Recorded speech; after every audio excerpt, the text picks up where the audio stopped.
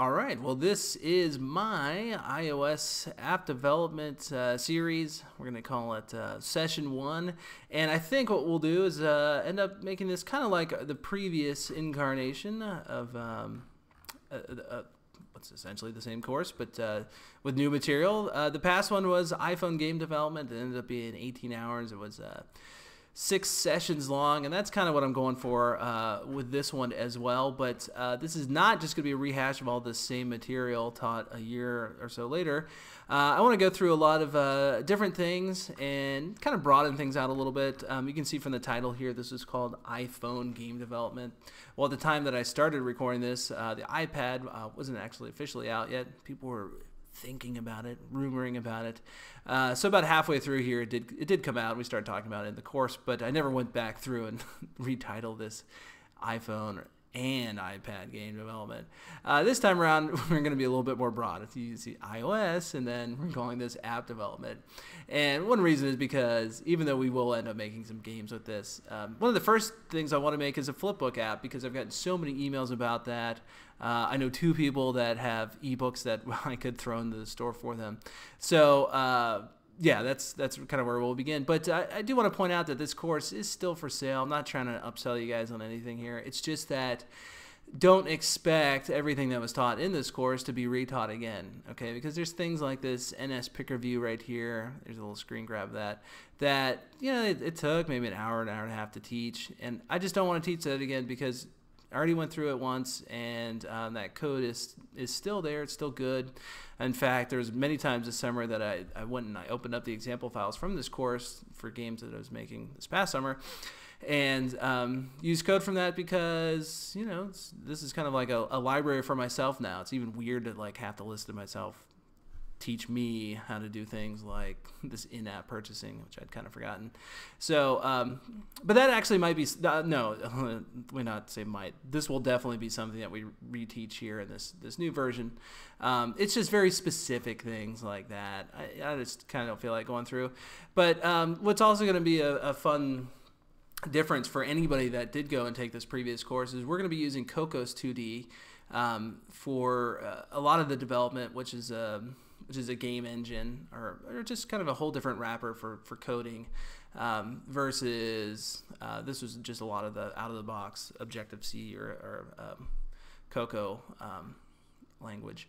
So uh, we've got that to look forward to, and and uh, if you are uh, or if you've been learning with me for a long time, you've uh, maybe learned some ActionScript, and I feel like Cocos 2D um, is is a lot more similar to ActionScript, um, and it um, it's a little bit more forgiving, I think, too. Uh, you can, you can kind of make some simple mistakes and it doesn't like really throw you against the wall for them. So uh, that's kind of what's ahead. And then also too, let's get you guys pumped up a little bit. Let's get some dollar signs in your eyes. Uh, I have um, kind of made a few games, okay, and so I've tested out the store a little bit. Uh, let me tell you, there's um, there's a, some amazing potential out there uh, both for just exposure for yourself or for making some consistent income. And uh, I made this uh, this pinball game over the summer. I just last week actually made it uh, free to kind of see well how many people download it. Uh, it's getting thousands of downloads every day.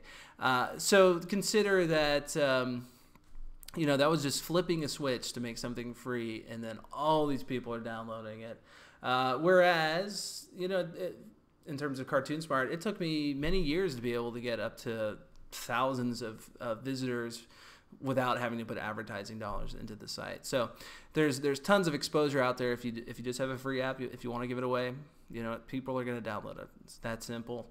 And of course, uh, like this game, you know you can always have a link back to. Credit yourself as the developer as the, the, the artist in the game whatever it is um, because you'd be kind of foolish not to, really. Um, you want to tell people that you exist. Uh, and then, of course, too, uh, make a game for a dollar. See how well it sells. Uh, this turned out to be a surprising success for me. Uh, I didn't know if, if people would kind of embrace using Google Maps as a, the underlayer for a game, and then the overlayer was this kind of airstrike game. But this turned out to be a, a, a nice uh, little winner for me. It uh, I'll show you the actual stats on it. Uh, the game is called Zombie Airstrike, and you can see um, this is uh, the uh, these are the stats from that game. I'm logged in, and uh, don't worry, these are not daily numbers. That would be nice if they were. These are weekly numbers. Uh, so from 814 to 821, I guess this did 132 paid, uh, 121 the week before. This is oh well, it's weird. It's identical. Uh, 146, 107, and kind of has this little summer dip through here.